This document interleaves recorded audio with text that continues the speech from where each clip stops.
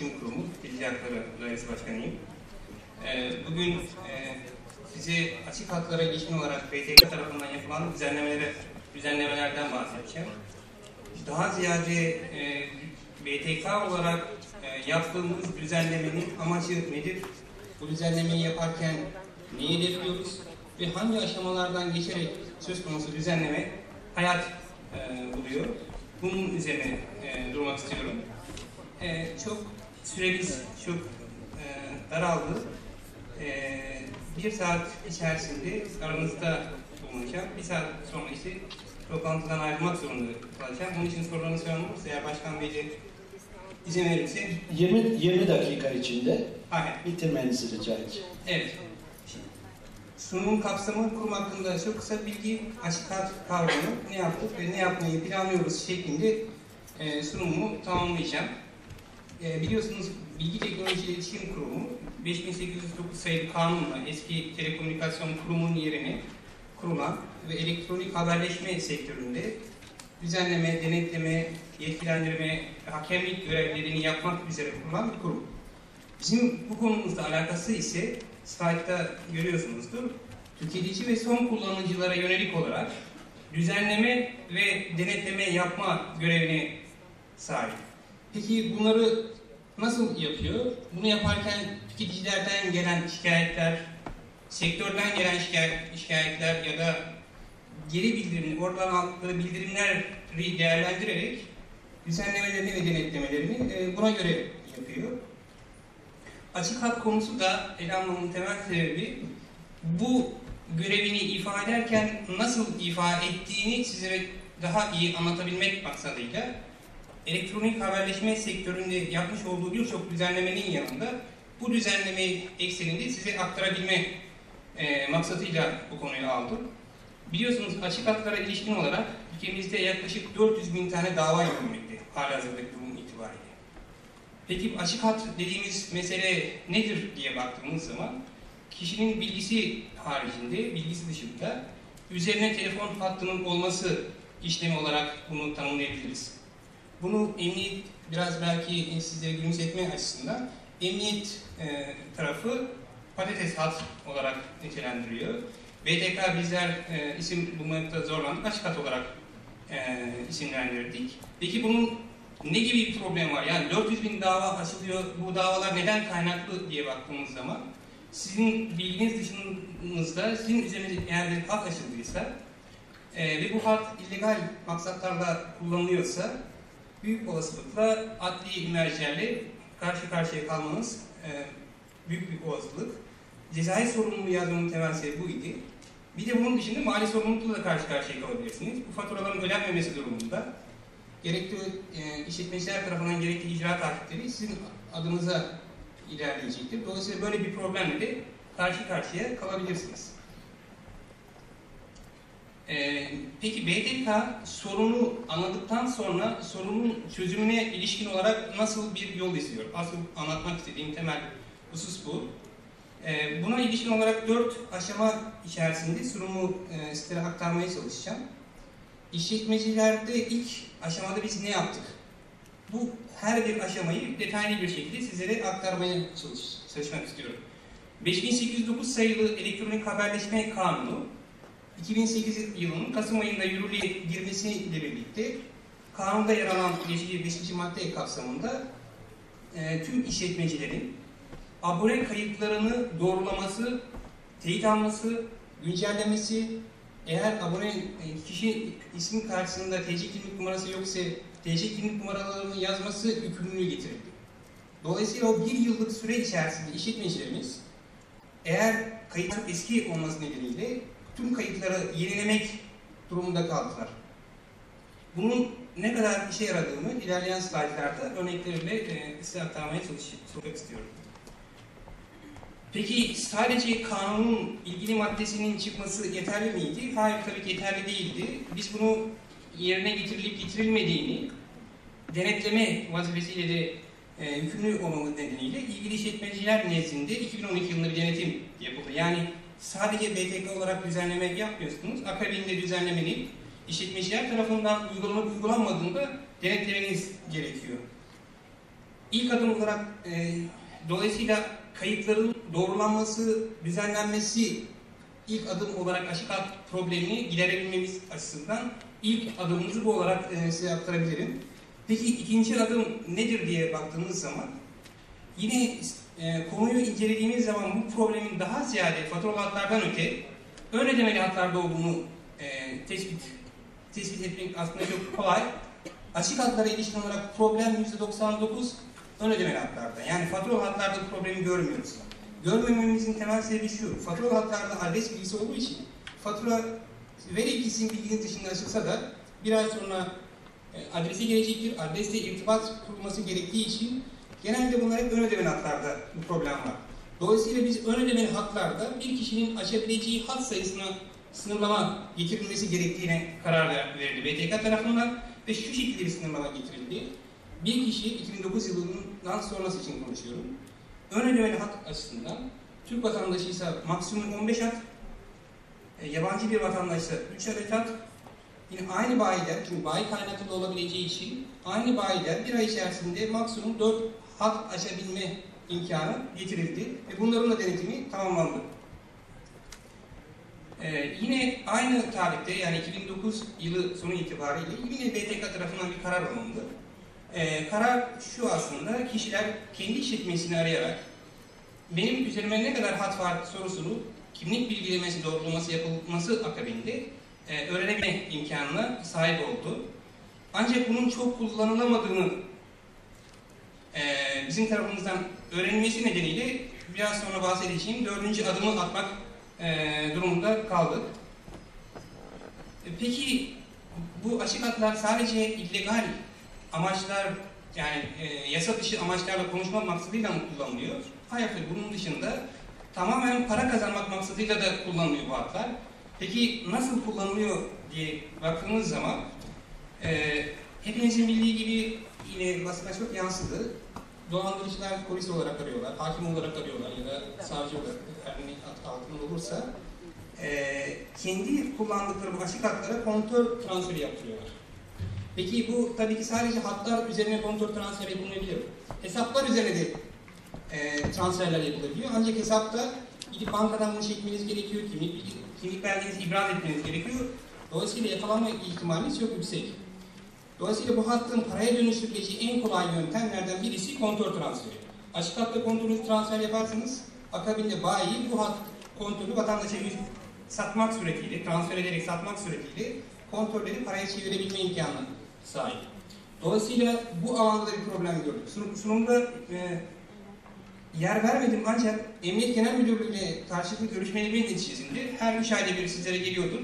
SMS gönderiliyor. Kendisine hakim savcı olarak tanıtanlara inanmayınız şeklinde. Bu karar alındı. Buna burada yer vermedim. Ancak bunun ötesinde yeni alınan bir karar var. Kontör transferinde çeşitli yükümlülükler işletmecilere getirildi. Nedir bu yükümlülükler diye baktığımız zaman kontör TL yüklemesinin en fazla %50'si transfer edilebiliyor. Yani sizin hattınıza bir kontör geldiği zaman siz bunun hepsini bu yeni yürürlüğe, bu arada yani şimdi bulunduğunuz zaman dilimi içerisinde yürürlüğe girmesi gerekiyor. En fazla işletmecilerin %50'sini transfer edebilme imkanına sahipler. Ya da ikinci kez başka bir hatta transfer edilemiyor. İkinci kez şunun için önemli. Yine illegal maksatlarla kullanılan bu hatlar kişi kendisiyle olan ilişkisini koparabilmek için 3. hat, 4. hat, 5. hat almak suretiyle hattan hatta transfer yaptırarak en sonunda bu parayı çeviriyor. Dolayısıyla o kişinin, transferi yapan kişinin kim olduğu bilgisinin bulunmasında yaşanan sorun hat sayısı arttıkça daha fazla oluyor. Dolayısıyla bunu engellemek maksadıyla e, bu şekilde bir düzenleme yapıldı. Dolayısıyla kontör transferinin önüne geçebilme hedeflendi. Ve e, belki basından yine fark et, e, bilgi sahibi olmuşsunuzdur. Dördüncü olarak da şöyle bir hizmeti devreye almaya BTK olarak e, planlıyoruz. İnternet üzerinden, yani BTK'nın hazır, hazırlayacağı web sitesi üzerinden kişiler kimlik doğrulaması yapılmak suretiyle kendi üzerlerine kaç tane hat olduğu bilgisine sahip olabilsin istiyoruz. Bu hatırlarsanız ikinci düzenlememiz çağrı merkezi maksadı çağrı merkezleri üzerinden kişiler üzerine ne kadar hat var bunu öğrenebilsinler düzenlemesi yapıldı. Ancak burada sadece kendi işletmecinizden kendi üzerinize ne kadar hat var bunu öğrenebiliyorsunuz. bir çağrı merkezi vasıtasıyla oluyor. Dolayısıyla gerek maddi açıdan gerekse de açısından, uygulama açısından da çok zor. Ancak internet üzerinden böyle bir imkanın tüketiciye getirilmesi açık hat sorununa e, büyük ölçüde çözüm bulabileceğini düşündük. Dördüncü adım olarak da BTK olarak bunu değerlendirmiş, değerlendirdik. Ancak şu iki tane problem karşımıza çıktı. Problemlerden birisi e, açık hattı kullanan masum vatandaşlarımız da olabilir. Yani siz gidip ke- kendi kimlik bilginizi vermişsinizdir, abone sözleşmesi imzalamışsınızdır ancak bu hak başkası adına da kayıtlı olabilir. Şu halihazırdaki mevzuat itibariyle bir kişinin bir hakkı başkasına devredilmesi, iki kişinin bir araya gelmesi ve konuyla ilişkin olarak her iki tarafında irade beyanı alınması akabinde gerçekleşebiliyor. Ancak taraflardan birisinin bilinememesi, bulunamaması nedeniyle e, hattı kullanan gerçek kişi hiçbir zaman hattı üzerine al- alamıyor. Bunu gerçekleştirmek maksadıyla abone, aboneliğin güncelleştirilmesine ilişkin ilk, ilk kısımda duran usul ve esaslar hazırladık. Ve ilgili usul ve esaslar yakın bir zaman içerisinde e, tüketiciler tarafından e, yararlanılabilir hale gelmiş olacak. İkinci husus ise o dönemde e, hatırlarsınız birkaç ay önce e, fesih ücretli hale geldi. Biliyorsunuz tüketici hakları yönetmeliğinde bir tüketici istediği zaman hattını iptal edebilme imkanına sahip, hiç herhangi bir zorluk çıkarılmaksızın. Ancak siz fesihi ücretli hale getirirsiniz, yani 10 lira, 20 lira, 30 lira meblağ artırabilirsiniz. Alma durumuyla karşı karşıya kaldığı zaman tüketici hattı e, üzerine almak istemeyebilir. Çünkü fesih ücretli hale geliyor. Bizim örneğimizde de e, tüketici bilgisi dahilinde üzerine açılan bir hat var ve bu hattı iptal ettirmek istiyor ve hatların sayısı 2009 yılı öncesinden kaynaklı bir kişinin üzerinde binlerce hat olabilir. Dolayısıyla siz bir kişiden 10 TL alsanız, 1000 tane hat olduğunu düşünürseniz o tüketiciyi müthiş bir şekilde maddi açıdan e, külfet altına bırakmış olursunuz. Dolayısıyla BTK kararıyla e, fesih ücretsiz hale geldi. Bu örnekleri vermemin temel sebebi şu aslında. Problem BTK olarak her bir tüketici şikayetini bizim cevaplayabilmemiz neredeyse imkansız. Bahsettiğim gibi 400 bin tane davanın açılmış olduğu böyle bir problemin olduğu ilgili kurum tarafından tespit ediliyor. Buna ilişkin olarak atılacak adımlar, yine mevzuatın kendisine vermiş olduğu yetki çerçevesinde tabii ki, te- belirlenerek adımlar ona göre atılıyor. Yine 2009 yılından bahsederken şöyle demiştim, 2009 yılında biz BTK olarak işletmecilere tüm abone bilgilerini güncelleyin. Her bir numaranın karşısına abonenin isminin yanında TC kimlik numarasını yazın dedik.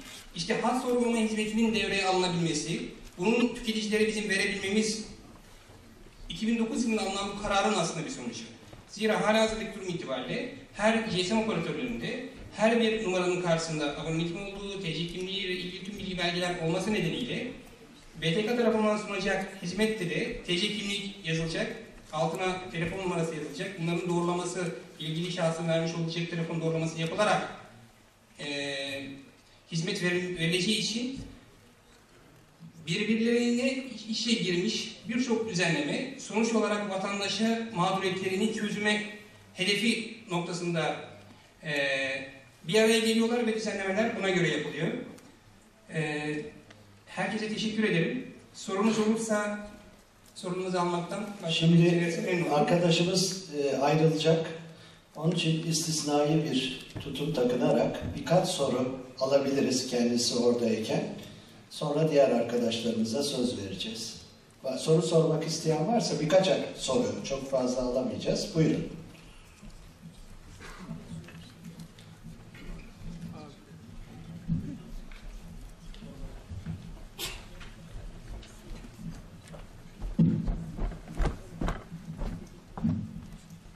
Mesih Tanrı, Kahramanmaraş İstiyorlar Hakimiyeti Başkanı olarak buradaydım. Ee, daire başkanıma şunu sormak istedim. Tüketicilerin şikayetleri ya da tüketici sorunları hakimiyetlerinden gelen bazen bu telekomünikasyon e, işlemleriyle ilgili tespit taleplerine cevap ver- verme gibi bir yükümlülükleri var mı yok mu? Yoksa yükümlü oldukları bir kurum biliyorlar mı? Onunla ilgili bilgi istedim. Teşekkür ederiz. Başka soru var mı? Buyurun. E, Avukat Çağatay Tanrıkulu. E, bir açık hatlar sunumu yaptınız aslında. Belki bu vesileyle biraz açılım sağlarım diye sormak istiyorum. Bu yeni kanun taslağı hakkında BTK'da sanırım görüş vermiştir. O konuda çok sizin için öne çıkan başlıklarla ilgili çok kısaca bunu öğrenmek istiyorum. Teşekkür ederim. Başka soru yöneltmek isteyen arkadaşımız yok galiba. Ha, var bir. Var. Burada ön tarafta hanımefendi buyurun.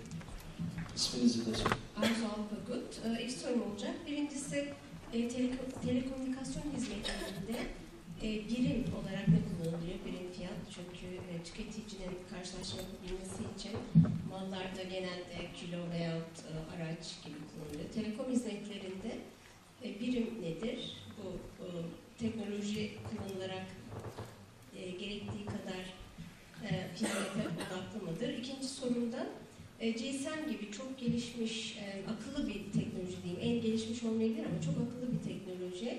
Bu teknolojinin imkanlarını e, tabii ki özellikle ABD, Avrupa Birliği e, tüketicileri için sağlanan bu imkanları biz kontrol edemediğimiz yasal konularda kullanarak tüketici refahını kısıtlayacak şekle getirmemiz tüketici açısından haklı bir yaklaşım mı? E, Yani benim e, tüketici olarak yurt dışından ilk senede bir telefon getirme hakkı benim e, özgürlüğümü kısıtlıyor diye biliyorum. Çünkü 8 ayda bir değişiyor bu teknoloji. E, ayrıca dediniz ki 3 telefon alma hakkınız var. E, halbuki teknoloji bu imkanları arttırmak için geliyor. Ki bunu e, 25 senedir çalışıyorlar. Bu imkanları yaratıyorlar. Halbuki yani ben tüketici olarak telefonumu alırken o mağazada baksam e, ve açık hat olduğunu gördüğümde ben o telefonu almayacağım. Bu orada o, o an e, bakılabilmeli ki E-Devlet projemizde gayet güzel ilerliyor. E, her şeyi herkesi takip edebiliyoruz. Bunu da takip edebiliriz. Yani e, şeyin başında takip edilebilecek bir sistem kurmak yerine tüketici haklarını kısıtlamak üzerine bu teknolojinin kullanılması e, düzenleyici kurulu olarak görüşünüzü almak istiyorum. Teşekkür ederim. Biz e, Fatih Bey buyurun bir şey cevap. yapalım isterseniz Sayın Başkan izin verirsin. Cevap vereyim. Ya, pardon, Çünkü sorular detaylı. Evet Akabinde zaman verirsiniz. Diğer bakalım. Cevap Şimdi cevap verin. Evet, evet. Ee, sizin sorunuzdan başlayalım aslında. Ee, hani unutursam diğer katılımcılar hatırlatırsa cevap vermeye çalışacağım. Ee, BTK tarafından yurt dışı bir- bir şey ilişkin bir sınırlama yok. 15 tane 15 tane vatandaşları için ödemeli hat alabilme sayısı 2009 yılından itibaren 15. Ancak fatura ve hat alabilme sayısına ilişkin olarak herhangi bir sınırlama yok. Dolayısıyla biz böyle bir şekilde sınırlamamız BTK tarafından getirilen herhangi bir sınırlama mevcut değil. Açık hat şu demek aslında. Sizin daha önce işletmeciye vermiş olduğunuz bir kimlik fotokopisi kullanılmak suretiyle sizin haberiniz olmaksızın bir hattın aşılması. Yine bahsetmediğim BTK tarafından yapılan birçok düzenleme var bu konuda. Birisi de 2009 2010 sonu itibariyle, 2010'dan itibaren kişiler bir hat aldığı zaman hat açıldığı anda hattın kimin adına kayıtlıysa bu bilgi de gidiyor. SMS olarak ilk açıldığı anda. Dolayısıyla bu konuya ilişkin olarak getirilen bir sınırlama yok. Bununla birlikte IMEI'ye ilişkin olarak yani yurt dışından bireysel ithalat yoluyla getirilen telefonlara ilişkin olarak bir sınırlama var. Bu sınırlama iki yılda bir telefon şeklinde. Anılan sınırlama BTK mevzuatından kaynaklı bir sınırlama değil, yürüt mevzuatı çerçevesinde vergiden muaf tutulması nedeniyle ticari olarak kullanabileceği endişesi ve kaygısı neticesinde iki yılda bir şeklinde getirildi. Söz konusu peki düzenleme niye hayata geçirildi? BTK tarafından geçirilen bir düzenleme şu. Bir e-maili Türkiye'de kim kullanıyor, nerede kullanılıyor ve Türkiye'de kullanılıyorsa ya da ilgili şahıs o telefonun sahibinin bilgisi dahilinde o telefonun kapatılabilmesi imkanının sağlanması maksadıyla devreye alındı. Ne demek istiyorum? Hatırlarsınız e, daha önce birçok telefon çalınıyordu. Telefonlar çalınıyor ve bu telefonlar ikinci el olarak satılıyor idi. BTK tarafından getirilen e-mail sistemi neticesinde şu anda Türkiye'de kullanılan tüm e-maillerin kayıt altına alınması nedeniyle herhangi bir telefon çalındığı anda yine BTK'nın iletişim merkezine başvurmak suretiyle o hat Türkiye'de kullanılamıyor. Yani dolayısıyla o telefon Türkiye'de kullanılamıyor. Ya da bize genelde bunlar savcılıklar üzerinden geliyor. Çünkü siz çalındığı zaman emniyete gidiyorsunuz, savcılığa gidiyorsunuz, suç duyurusunda bulunuyorsunuz. savcılıktan bize gelmesi nedeniyle bize iletilen bilgi akabinde hat kapatılıyor ve o telefon Türkiye'de hiçbir kimse tarafından kullanılamaz hale geliyor. Dolayısıyla BTK'nın yaptığı düzenleme aslında tüketici refahını arttırmaya yönelik bir düzenleme. Ee, Kahramanmaraş Hakem ve e, heyeti başkanının soruna cevap vermek için aslında bu sunum çok yerli bir sunum oldu. Ben genelde sunumlarda telekomünikasyon sektörüne ilişkin genel düzenlemelerden anlatıyor idim. Burada ise biraz daha spesifik bir konuya ele alayım. BTK'nın faaliyetlerini daha doğru bir şekilde kamuoyuyla paylaşayım istedim. Bizdeki BTK'nın çalışma sistemi şu şekilde, tüketici şikayetlerine aslında birebir cevap verme, birebir sorunu çözme endeksi değil. Sektöre ilişkin olarak yaygın şikayetlerin olduğunu tespit ettiğimiz anda, bu örnekte olduğu gibi, neler yapabiliriz? Düşüncesinden hareketle çeşitli kararlar alıyoruz.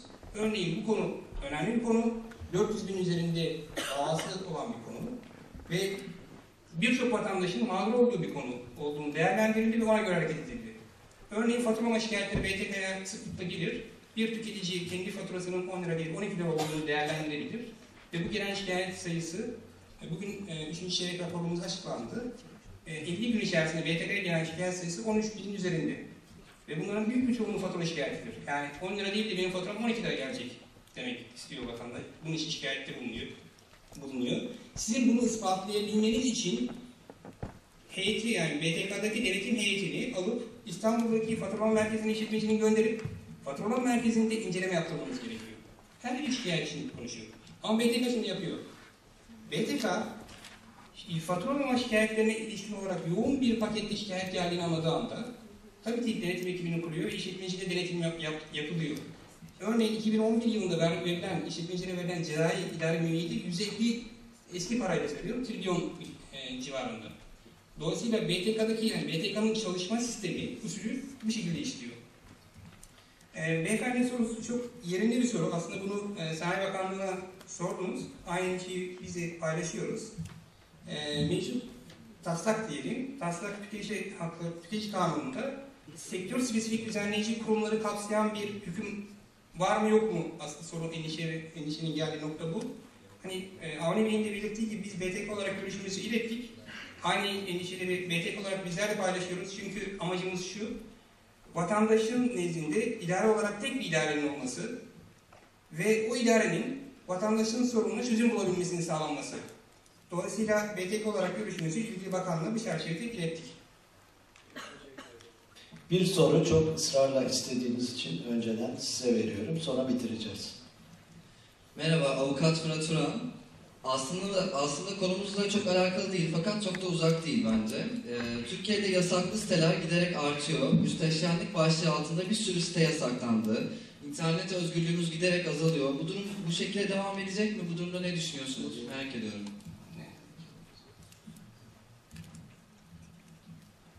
Başka sorabilir misiniz? Evet. Şimdi internete ilişkin olarak aslında iki gün önce BTK güvenli internete ilişkin e, güvenli interneti kutladı aslında 21 Kasım'da başlayan.